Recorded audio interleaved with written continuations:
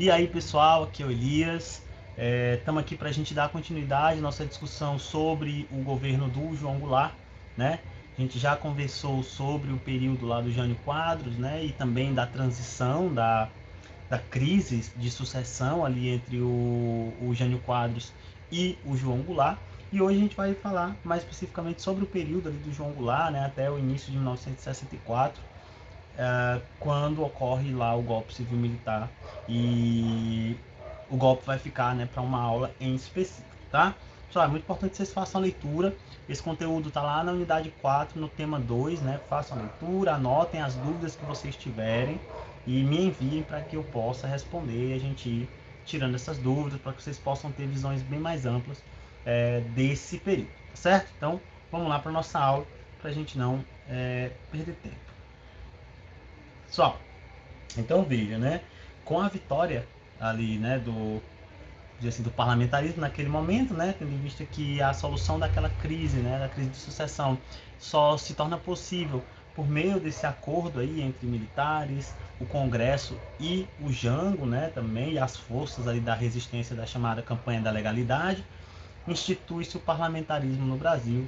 E aí, é, esse parlamentarismo duraria de 1961 até 1965, como estaria previsto pelo ato adicional, né, que colocou o, uh, o parlamentarismo. Né? No entanto, esse parlamentarismo só iria até 1963, tá? Então vejam, é, esse parlamentarismo ele foi bastante instável, né? Você teve, tivemos aí pelo menos três é, primeiros ministros, né? E essa alternância demonstrava, de certa forma, a fragilidade desse desse governo, né? É, de maneira mais ampla, né? A, sociedade, de maneira geral, a sociedade brasileira na década de 60, ela também, né? Se demonstrava um tanto quanto é, bastante efervescente aí no que se refere ao aspecto político, né? Você tem várias forças é, sociais se movimentando ali, né? Você tem várias greves em decorrência da alta inflação, luta no campo, a gente já vai comentar isso, luta no campo, é, luta nas cidades, então isso faz com que esse período seja um período marcado né, por esse, essa efervescência política é, e o parlamentarismo ele também, né, ele, ele acabou sendo também um reflexo disso tudo. Dessa forma, né, com apoio de movimentos sindicais, de movimentos trabalhadores e de, de outros setores, o, o João Goulart ele consegue né, adiantar o plebiscito que ocorreria em 1965 para ocorrer em 1963. E aí, é, em 1963, o parlamentarismo ele é rechaçado pela grande maioria da população, né, que vota no plebiscito. É, aproximadamente 80% da população vota vota não ao parlamentarismo, né? E aí é, você tem o, o, João Goulart empossado com todos os poderes de presidente, né? A, a emenda é revogada e aí é, retorna-se ao presidencialismo. A partir daí, o Jango passa, passaria então a governar de forma é, completa. Né? Isso, para os setores que apoiavam o João Goulart, demonstrava ali agora a realização das suas uh, reformas, né? também da, da, das pro, promessas feitas em campanha, pelas quais ele era cobrado né, constantemente, tendo em vista é, a dificuldade que ele possuía de governar naquele momento. O Jango, então, ele passa a se fortalecer, né, pelo menos politicamente nesse momento, tendo em vista que ele agora passava a ter poderes amplos de presidente, e é dentro dessa lógica de que agora ele centralizava ali o poder novamente, executivo, né? Ele propõe o chamado plano trienal e a, a, a chamada reformas de base, né? Porque o Brasil, né, já ainda desde a década de 60, é, passava por uma grave crise econômica, né, a inflação extremamente alta, o PIB em queda desde 1960, então você vai caindo, né, o PIB vem caindo a cada ano, e isso interfere diretamente né, na, na, na forma como é, a sociedade em si se comporta. Né? Uma sociedade em crise é, econômica é, ela é bem mais instável do que em períodos de, de estabilidade econômica. Então, quer dizer, Uh, haviam várias greves ocorrendo, né, movimentação por direito trabalhista, no campo e nas cidades. Havia é, pressão por parte dos setores empresariais em relação ao Jango, né, as críticas do, do, do, dos setores mais conservadores em relação ao Jango. né, que, de, que colocavam o Jango como um, um, uma ameaça né, à, à ordem assim, econômica e política do Brasil, né, já que o Jango ali representaria uma esquerdização do Brasil eh, para essas classes conservadoras, né, principalmente setores empresariais, eh, proprietários rurais e também eh, membros ali, né, parte do clero católico. Então, tudo isso fazia com que o Jango precisasse, né, é, encontrar medidas para estabilizar esse processo né, de crise. E é aí que você vai ter o chamado plano trienal e a aplicação das chamadas reformas de base. O João então promete as chamadas reformas de base, né, como forma de reduzir as, desigualdades sociais no Brasil e também reduzir é, a, a inflação, a crise econômica que o Brasil estava vivendo.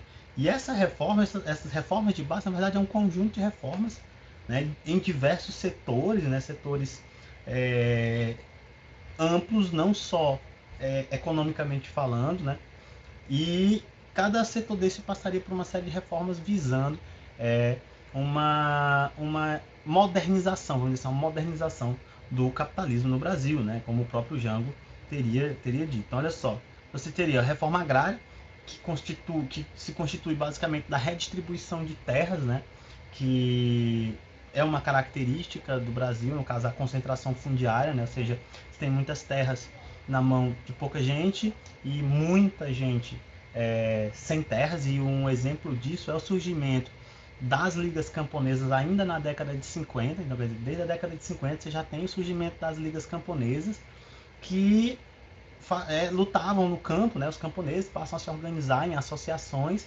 é, principalmente no Nordeste, para lutar contra o domínio né, dos, dos grandes latifundiários, né, lutar por terra, lutar por propriedade. E, ou seja, a pauta da terra no Brasil ela era uma pauta que já existia e que o Jango, né, de certa forma, vai tentar aplicar essa, essa, essa reforma. Vai tentar, né, claro. Tentar é... E a proposta de reforma agrária, o Jango não, não teria sido o primeiro né, a fazer a proposta, mas é uma das propostas que nunca foi aplicada na prática. Né? É, também se pro, iria se propor uma reforma educacional, principalmente no que se refere aos níveis superiores, né, a, da estrutura de ensino e, e, e, acesso às universidades, visando ampliar esse acesso. E é interessante porque o, o aqui também entrava uma mudança no próprio Código Eleitoral, né, que o, o Vargas, o, o, a Constituição de 1946, né, lá no governo Dutra, não incluía os analfabetos como votantes, então o, o, o Jango propõe essa, essa ampliação, né? incluir os, os analfabetos também no direito ao voto, ou seja, e naquele momento era uma grande parcela, né? se, se não provavelmente uh, próximo da metade da população adulta brasileira, ela era analfabeta ou próxima disso. Né? Então, quer dizer, essa reforma visava ampliar esse acesso e também, claro, incluir aí esse, uh, esse setor né, de analfabetos, no caso aí com direitos políticos, aí, o direito de voto. A reforma bancária, né, é, em relação à questão das, das, taxas de juros dos bancos e, e a forma né, de crédito, reforma urbana, né, o planejamento das cidades, é, política de habitação e todas essas questões sociais. E ainda, além, a, além de tudo isso, né, quer dizer, a, a, além de tudo, é, me enrolei, esqueci. Foda-se, eu corto. Além de tudo isso, você tem a criação do Estatuto do Trabalhador Rural, né, que seria, na verdade, uma tentativa de extensão da CLT, que é, que é o Código de Leis que rege o trabalho urbano, para o setor rural. Né? Como eu já tinha falado anteriormente, é, a CLT ela, ela, se, ela versava principalmente sobre os trabalhadores urbanos e, e relegava a segundo plano é, trabalhadores rurais, trabalhadores artesana, é, artesãos, né? E, uh, enfim, outras profissões que não eram reconhecidas pelo código. E aí o, a pressão popular também, né, das ligas camponesas e, e das disputas no campo, fazem com que o Jango, né, proponha aí uma das, das pautas dessa, dessas reformas de base seria é, a ampliação dos direitos é, da CLT aos trabalhadores do campo. É claro que isso, né, principalmente para as camadas é, empresariais ali da década de 60, soava extremamente radical, né? E tendo em vista que o Jango já era visto como esquerdista, vamos dizer assim, né? É, isso chocou, né? Parte dessa, desses setores mais conservadores e, e, e mais abastados da sociedade, proprietários rurais, né? Que, uh, quando falou na reforma agrária, você atinge um, uma área muito sensível ainda no Brasil até hoje, né? Não é à toa que o Brasil ainda é um dos países com maior concentração fundiária no mundo, né? Tendo em vista que nunca houve uma reforma agrária efetiva, né? Então, quer dizer, você tem um, uma, uma, uma oposição muito forte que começava a se formar ali, né? E começa a se organizar contra o Jango, tendo em vista a divulgação dessas reformas, né? Claro que essas reformas o Jango não consegue aprová-las de cara, assim, de, de primeira, né, no, no, no, Congresso.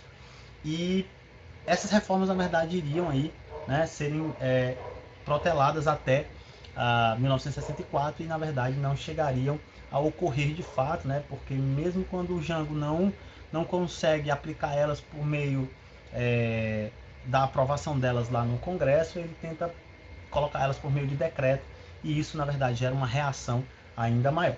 Né? Então quer dizer, o Jango passa a ser muito criticado por essas alas mais, mais é, conservadoras e ao mesmo tempo passa a ganhar o apoio né, dessas, desses setores mais menos, menos favorecidos, né? trabalhadores urbanos, trabalhadores é, rurais.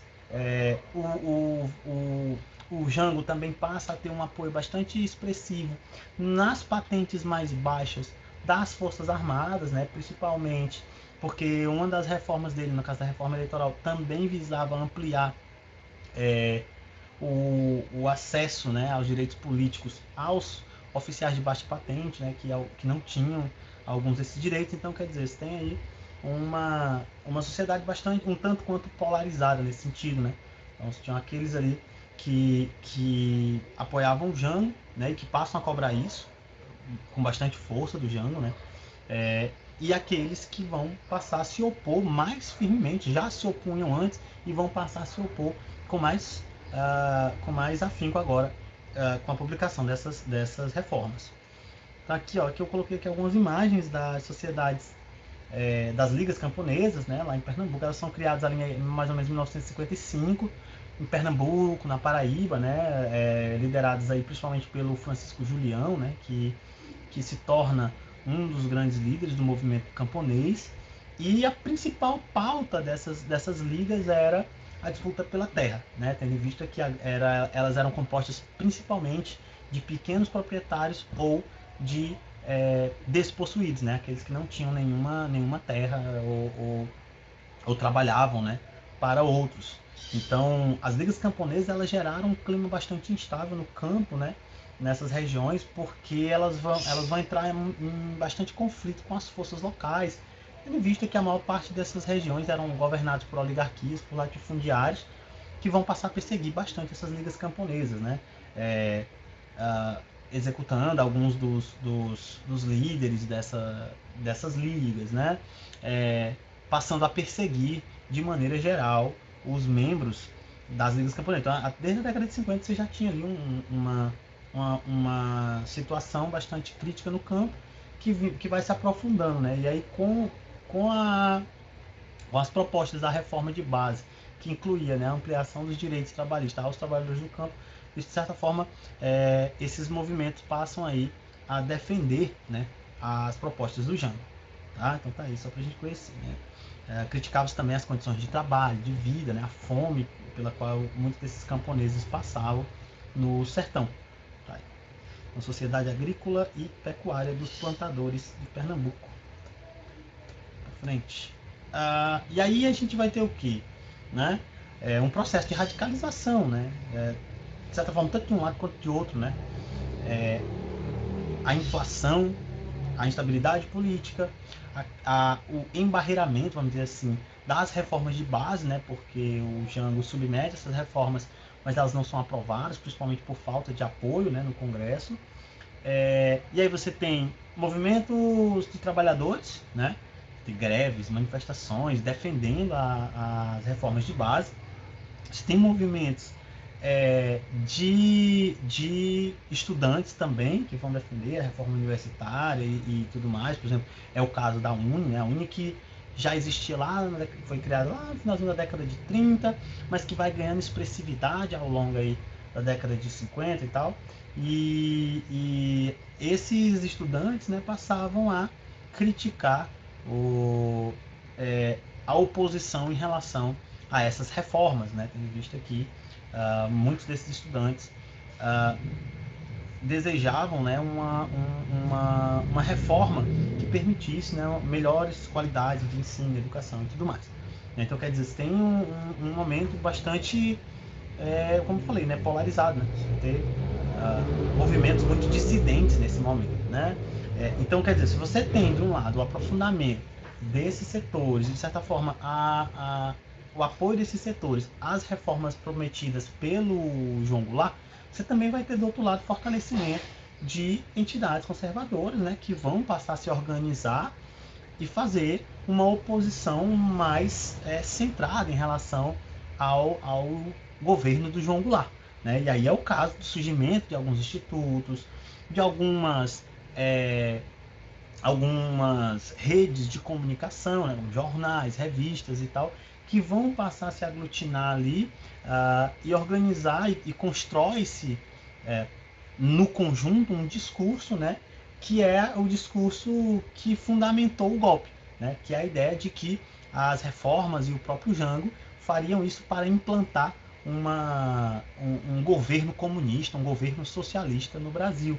Né? Então, quer dizer, uh, esse, esse fantasma desse golpe comunista que seria dado pelo João Goulart, ele é construído principalmente uh, é, pela produção desses meios de imprensa, é, desses institutos né, que passam a difundir toda uma ideologia é, anticomunista que condizia, né, na verdade, com uh, o momento ali da Guerra Fria né, e um alinhamento mais ligado ao, aos Estados Unidos. Né? À toa que você vai ter, por exemplo, até mesmo a, a participação né, de financiamento estadunidense, né, da, da, da própria CIA, né, que passa a, a construir, de certa forma, também uma resistência a esse, a esse avanço mundial do comunismo, como, como se diria naquele momento. Né? Então, por exemplo, você tem a criação né, a, da ação democrática parlamentar, né, que seria ali uh, principalmente esse, esse corpo que faria oposição ao, ao, ao governo do Jango. Você tinha o Instituto de Pesquisas Sociais, né, o IPES, que passa a produzir uma série de livros, é, panfletos, enfim, é, uma série de, de uh, cursos né, que passam a difundir esse, esses, esse ideal, né, esse discurso e, claro, né, fazer uma oposição ferrenha ao, ao governo do João Goulart. Mesma coisa do Instituto de Ação Democrática, IBAD, né, que passa também a produzir uma série de ações com o objetivo primordial aí de é, fazer frente, fazer oposição ao governo do, do João Goulart. Então, quer dizer, você vê que há uma, uma cisão aí muito, muito profunda e essas, essas, organizações, essas organizações conservadoras elas vão passar né, a é, utilizar-se desses meios principalmente para é, garantir o apoio popular, né? E por meio desse apoio é o que fundamenta lá em 1964 o golpe, né? Então, quer dizer, a imprensa também vai ter uma participação bastante intensa, né? Estado, é, principalmente a grande imprensa, vamos dizer assim, né?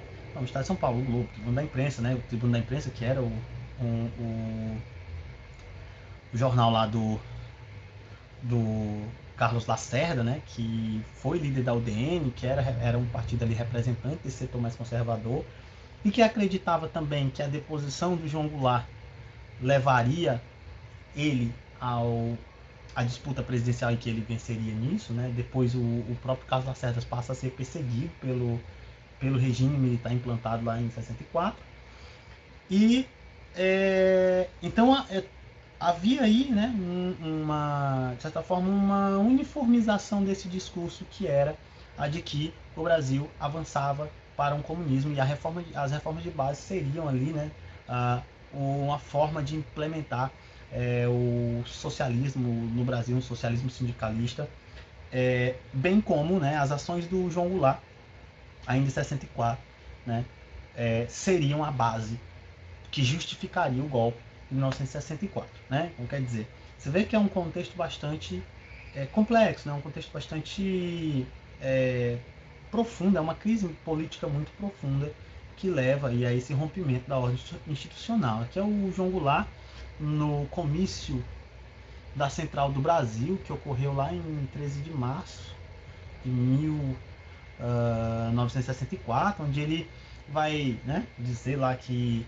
é, vai aprovar as, as reformas por decreto, né? ele passa, inclusive, ele anuncia lá a refinaria, a, a, a nacionalização das refinarias por parte, por meio dos, dos decretos, né? que é uma, uma premissa do poder executivo, e de certa forma esse, esse comício, né, que foi ali o comício da Central do Brasil, foi o grande divisor de águas ali, né, que leva a, a, ao golpe. Né? Então, quer dizer, ali foi o grande momento que levou ao golpe de 1964. Tá? Então tá aí algumas imagens aqui, aqui uma imagem dele no palanque aqui. Ah, o aglutinador, isso aqui você vai ter em torno de 150 a 200 mil pessoas, né? O, o, o João Goulart teria falado para essa galera aí.